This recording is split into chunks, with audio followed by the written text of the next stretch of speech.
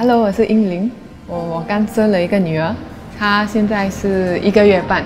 Hello，大家好，我是 Yuki，我是两个孩子的妈妈。Hi, I'm Sess. I'm 40 and I just had my first baby two months ago. Hello, I'm Michelle. I just gave birth to a baby girl three months ago. So I decided to Google and then I came across a mommy blog and that's where I first heard of Heng Fotong. 我们选择了 Heng Photon，因为它是比较划算，价格也比较合理。我就是开来看啊，里面东西真的很新鲜哦。配套料里面就是有红枣水啦，连还有给妈妈吃补的药材咯，都里面都有很多咯。像我们年轻的时候，我们坐月子就是啊，这这边买一点，那边买一点，那凑成一个药材来煮给我们这些孕妇吃了。现在呢，我们不需要去去哪里找了，就是方便在这边了。所以 online 买是很，我觉得是很方便哦。As a first-time mommy, I'm not quite sure on the preparation of the herbal soup package.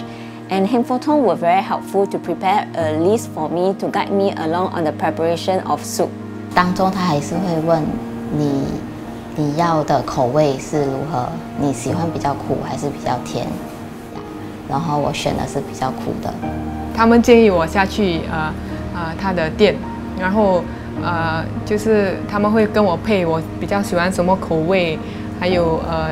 有什么问题我可以问他们。My girlfriends who went through the same thing with cesarean, they have like different issues like backache and like you know wound area pain or numbness and things like that. So I don't have any such complaints. The only thing I did differently would be you know consuming confinement Chinese confinement herbs. 老板和老板娘很友善，他们帮助了我们很多。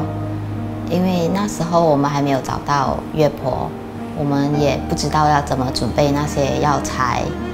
然后老板娘就说：“你可以打电话给我，她都会教我们怎样去煮。黑福童的 delivery 很好，跟很快。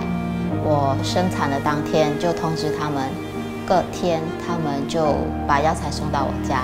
谢谢黑福童，谢谢信和堂。Thank you, Heng Tong, for making my confinement easier. Thank you for the all-rounded customer service uh, and making the entire experience a pleasant one for me.